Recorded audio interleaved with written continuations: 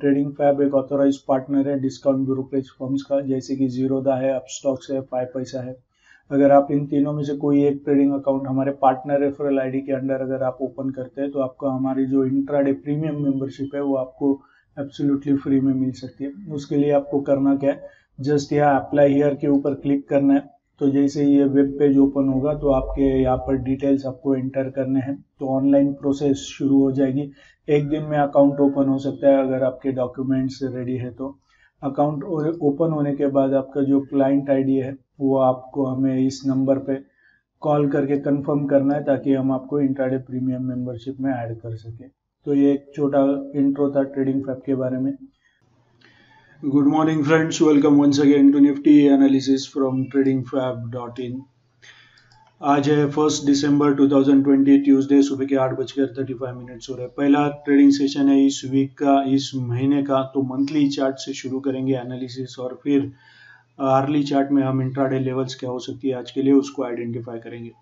लेकिन उससे पहले जो एक न्यूज़ चल रहा है एक रूल आ गया है उसके बारे में कि इंट्राडे धीरे धीरे मार्केट से ख़त्म हो जाएगा इंट्राडे ट्रेडिंग तो ऐसा बिल्कुल भी नहीं होगा। इंट्राडे से ज़्यादातर इनकम रेवेन्यू जनरेट होता है गवर्नमेंट के लिए।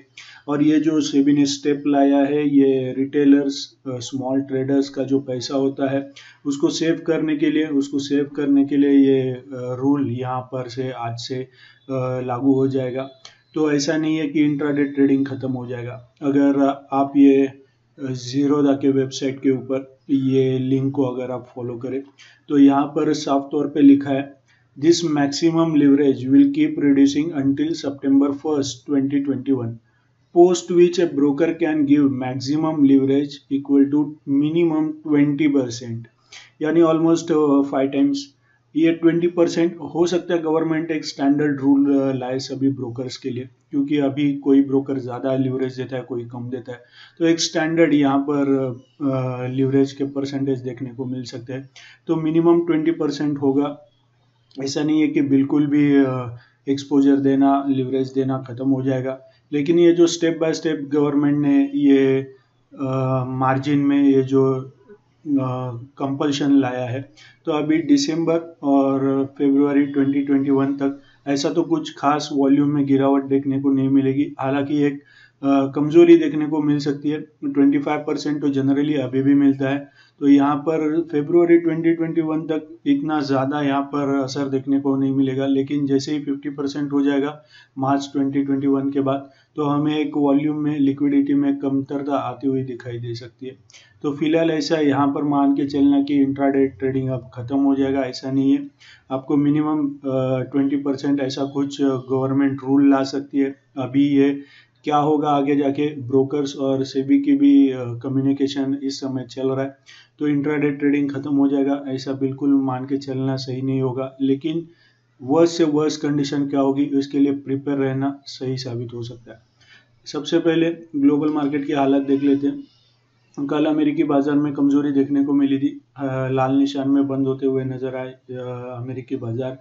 यूरोपियन मार्केट्स भी देखे तो वहाँ पर खास तौर से लंदन मार्केट में ज़्यादा गिरावट देखने को मिली थी। वहाँ पर कोरोना वायरस का सेकेंड वेव यूरोप में देखने को मिल रहा है। लंदन में अभी भी पूरा यूके लॉकडाउन में है। फोर्थ दिसंबर तक वहाँ पर लॉकडाउन चलेगा। एशियाई बाज़ार आज ओपन हो चुके तो एस निफ्टी फ्लैट नोट के साथ कारोबार कर रहा है। हफ़्ते का पहला दिन है और बाकी लगभग सभी एशियाई बाज़ार इस समय हरे निशान में ट्रेड कर रहे हैं। डाव फीचर भी देखें तो ज़बरदस्त मजबूती इस समय देखने को मिल रही है। 240 पॉइंट्स की बढ़त इस समय देखने को मिल रही है। तो ओवरऑल ग्लोबल मार्केट्स अभी फ़िलहाल पॉजिटिवनेस के साथ ट्रेड करते हुए नज़र आ रहे हैं। निफ्टी के चार्ट के ऊपर चलते हैं। ये मंथली चार्ट है निफ्टी इंडेक्स का। निफ्टी इंडेक्स में ये जो मार्च का मंथ है, जहाँ से ये लंबा रेड कैंडल बना था, उसके बाद अप्रैल, मई, जून, जुलाई और अब तक नवंबर तक एक ज़बरदस्त अपसाइड मूव हमें देखने को मिला है। यानी पूरा ये जो कोरोना वायरस के वजह से यहाँ पर ये गिरावट देखने को मिली इसको कवर करके अभी निफ्टी इंडेक्स ने ब्रेकआउट दिया ये जो लेवल था, ये जो लेवल यहाँ पर बन रहा था, इसको निफ्टी ने ब्रेक कर दिया इसके ऊपर आके ये क्लोज हुआ है। और फिबोनाची एक्सटेंशन लेवल को अगर हम देखें यहाँ पर तो 50 परसेंट का लेवल अभी इसने अचीव कर लिया इसी के पास ऑलमोस्ट आकर ये क्लोज भी हुआ है। तो 50 और 61.8 परसेंट ये दो लेवल्स ऐसे होते हैं कि यहाँ से एक ट्रेंड रिवर्सल भी देखने को मिल सकता है। निफ्टी अभी ऑल टाइम हाई के पास है। यहाँ पर मंथली चार्ट में कभी भी इस लेवल के पास निफ्टी इंडेक्स क्लोज नहीं हुआ था। तो ये ऑल टाइम हाई क्लोज हमें मंथली चार्ट में मिला है।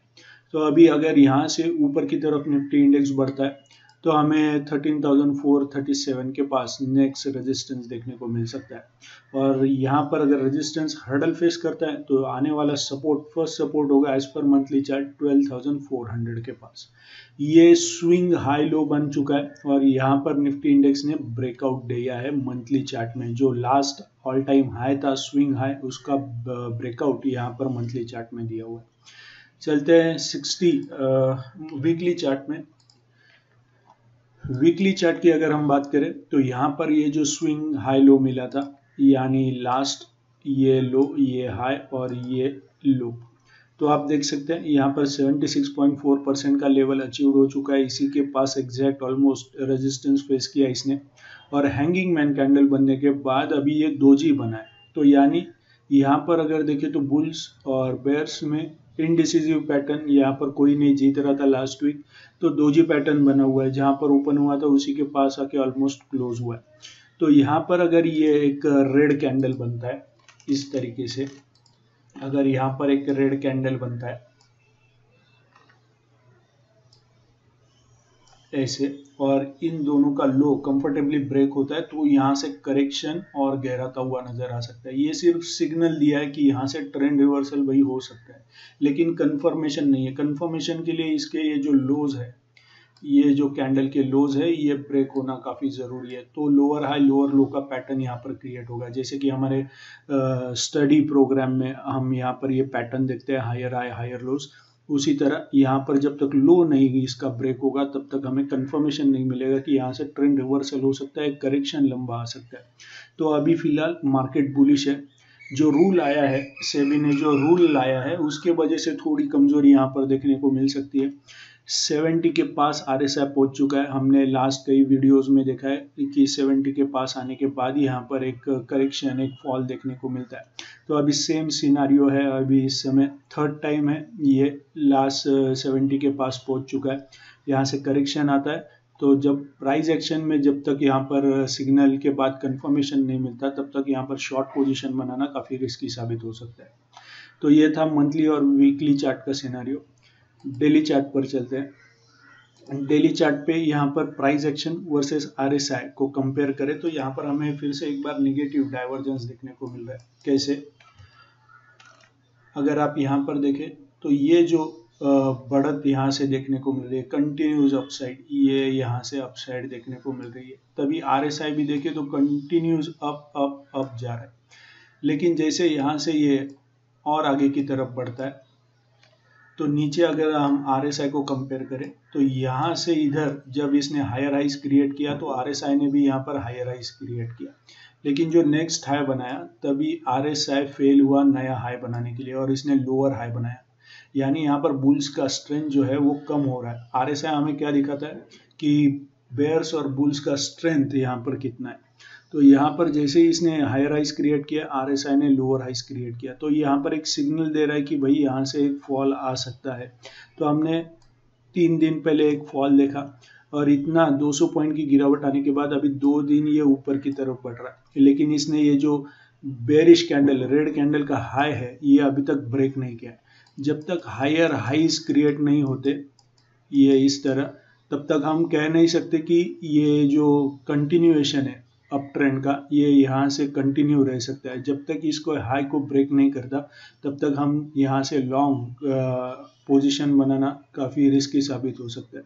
हो सकता है अभी ये फिर से ऊपर जाए और फिर नीचे आए और तभी बनेगा डाउन ट्रेंड का पैटर्न जो कि लोअर हाई लोअर लोज है। ये हमने हमारे स्टडी प्रोग्राम में सीखा है, जो जिसने भी, जिन्होंने भी ये स्टडी कोर्स किया है हमारा, वो ये यहाँ से उसका एनालिसिस इस तरह से करते हैं।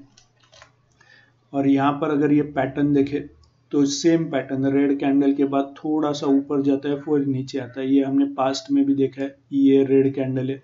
रेड कैंडल बना, फिर दो तीन दिन यहाँ से ऊपर की तरफ़ निफ्टी बाउंस बैक होने की कोशिश किया, लेकिन फिर से ये टूवर्ड साउथ की तरफ़ आया। यहाँ पर भी ये रेड कैंडल बना था। थोड़ा सा ऊपर गया, फिर नीचे आया। तो ये एनालिसिस होता है, इस तरह से मार्केट को स्टडी किया जा सकता है। अभी लॉन्ग पोजीशन बनाना, जब तक इसका हाई ब्रेक नहीं होता तो लॉन्ग पोजीशन कंटिन्यू करना यहाँ पर रिस्की साबित हो सकता है। चलते हैं सिक्सटी मिनट के चार्ट में। क्विकली इंट्राडे लेवल्स को आइडेंटिफाई करेंगे। निफ्टी इंडेक्स अगर टुवर्ड साउथ की तरफ़ आता है तो कई सारे मल्टीपल सपोर्ट लेवल्स हैं। यहाँ पर 20 एम है फिर पिवट पॉइंट का एस वन का लेवल है फिर ये ब्लू लाइन है जो कि 50 एम की लाइन है।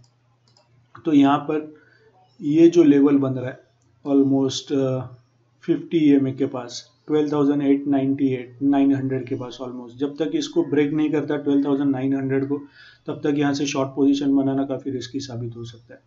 12,900 को अगर ब्रेक करता है तो ही यहाँ पर इंट्राडे के लिए हम शॉर्ट पोजीशन बना सकते हैं और तभी हमारा फ़र्स्ट टारगेट होगा। 12,881 ये हमारा फ़र्स्ट टारगेट होगा और सेकेंड टारगेट होगा। 12,859 ये हमारा सेकेंड टारगेट होगा। और निफ्टी इंडेक्स अगर ऊपर की तरफ़ बढ़ता है तो ये जो हाई है 27 नवंबर का 13,033 इसको ऊपर अगर सस्टेन करता है तो ही इंट्राडे के लिए हम यहाँ पर बाय पोजीशन बना सकते हैं और तभी हमारा फ़र्स्ट टारगेट होगा। 13,050 ये हमारा फ़र्स्ट टारगेट होगा और सेकेंड टारगेट होगा। 13,074 ये हमारा सेकेंड टारगेट होगा। तो ये आज के लिए निफ्टी के इंट्राडे लेवल्स अगर आपको ये वीडियो एनालिसिस अच्छा लगा हो तो लाइक शेयर कमेंट ज़रूर करें और सब्सक्राइब करना ना भूलें। So thank you very much and happy trading